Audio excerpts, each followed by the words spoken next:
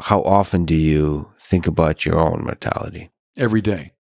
And one, are you afraid of it, the uncertainty of it? And what do you think happens after you die? Sure, I'm afraid of it. I mean, because it's uh, I don't I don't know uh, what's next. I mean, I, I, I can't know it the way I know you. So of course I'm afraid of it, and I think of it every day. Um, that's true.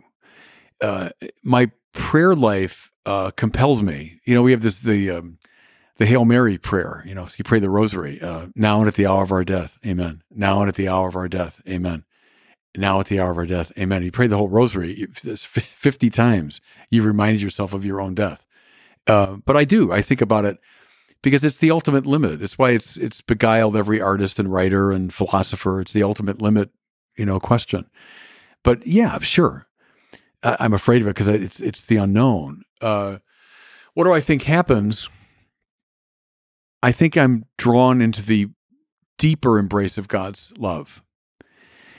You know, and that's stating it kind of in a in a more poetic way. Um, do you know John Polkinghorne's work? Do you know that name? Mm-hmm. John Polkinghorne was a very interesting. He just died recently. He was a Cambridge University particle physicist, right? High, high level scientist who at midlife became an Anglican priest. He left his job at Cambridge and went to the seminary and became an Anglican priest, right? And then wrote, I think, some of the best stuff on science and religion because he really knew the science from the inside. Here's Polkinghorne's account that I've always found persuasive. He said, what what survives after we die? So the, this body clearly dies and goes into the ground, or it's burned up, or it goes away, right? But what's preserved? And he says what Aristotle would have called the form. Polkinghorne calls it the the pattern. So the the pattern that's organized, the the matter that's made me up over all these years. That's obviously not the same as it was. Even I mean, you would know how, how often does it all change? All your atoms and cells, and you know. Mm-hmm. In other words, the the little, you know, Bobby Barron who was growing up in Birmingham, Michigan, there I can have a picture of him. And then there's me. And I say, oh, that's, that's the same person. Well, I mean, clearly not materially speaking, mm-hmm. not at all. Completely different. But there's there's a unity to whatever that pattern is by which all of that materiality has been kind of organized, you know. So Paul Polkinghorne says, I think that pattern is remembered by God.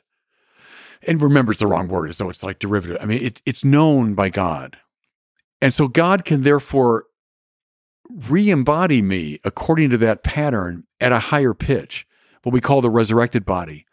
Uh, so Paul talks about a spiritual body. Body for sure, I mean, because he believes in the resurrection of Jesus. Um, but it's not a body like ours from this world. It's a it's a body at a higher pitch. So something, some pattern that's there persists. The pattern persists in the mind of God and then is used as the ground of the re embodiment of me. So it's not like I've, I've just become a Platonic form. I'm going to be re embodied because the Christian hope is not for Platonic escape of soul from matter. That's never the Christian hope. It's for the resurrection of the body, we say. And you say, what a fantastic idea. Well, I don't know. I mean, th- this body is being reconstituted all the time according to this pattern, right? It's not the same matter. And so, might there be an, another sort of higher material that is organized according to the same pattern, which has been remembered by God?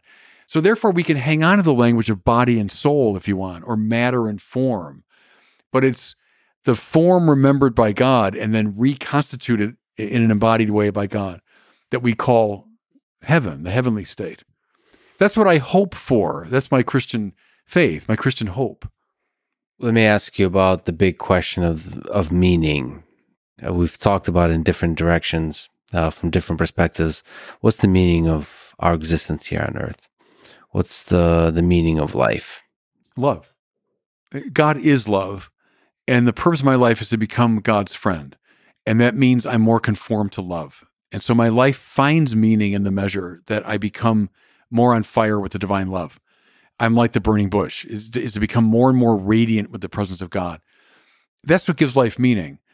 To, meaning is, is to live in a purposive relationship to a value, I would say. So there's all kinds of values, as I say, moral, aesthetic, intellectual values. And when I have a purposive relationship, like so right now, you and I, we have a purposive relationship to the value of, let's say, you know, finding out the truth of things and, and we're speaking together to seek that. Well, good. what's the ultimate value? The value of values is God, the supreme good, right? The supremely knowable, the supremely intelligible is God. And so to be conformed to God is to have a fully meaningful life. And who's God? God is love. So that, that's where I would fit the package together that way. You're um, adding a lot of love to this world, and which is something I deeply appreciate. And that you would sit down with me, um, given how valuable your time is, is a huge honor. Thank well, you so much. My great pleasure. I loved it, Lex. Thank you.